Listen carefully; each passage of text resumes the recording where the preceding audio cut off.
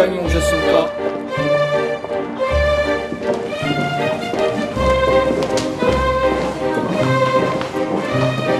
수고 많으세요.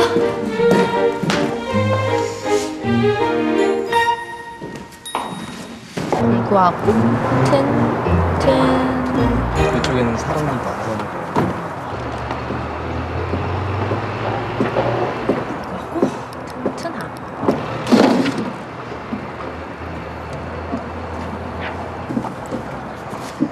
촌스럽게 왜 이렇게 굽신데?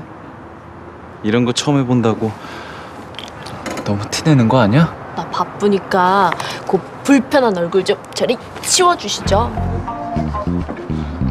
너 지금 그 더러운 손으로 남의 얼굴 쓰다듬지 말라 그랬지? 아, 생긴 건 땅에 떨어진 것도 다 주워먹게 생겨가지고 깔끔한 척 혼자 다 한다니까.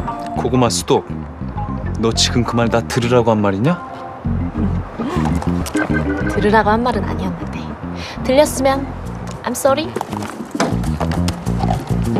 아우 저게 진짜 저-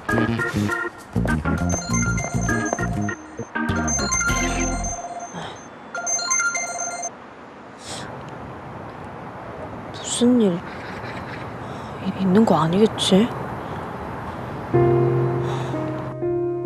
사우리가 그 일로 오래 가진 않겠지.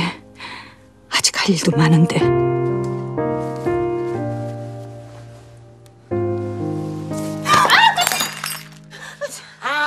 안 그래도 그냥 속 시끄러 죽겠는데 조심달라는 게 그릇 삶아가 그냥 아 집안에서 그렇게 하면 이거 부정 타는 거 알아 몰라 제가 그런 게 아니라 이게 형님 탓이라고요. 가뜩이나 목발 짚고 다리도 부실한데 알아서 주의 좀 해줄 것이지. 형님 저 미워서 일부러 보고도 막 부딪히고 그런 거 아니에요? 이거 봐요. 할 말 없으니까 무시하는 거 맞잖아요.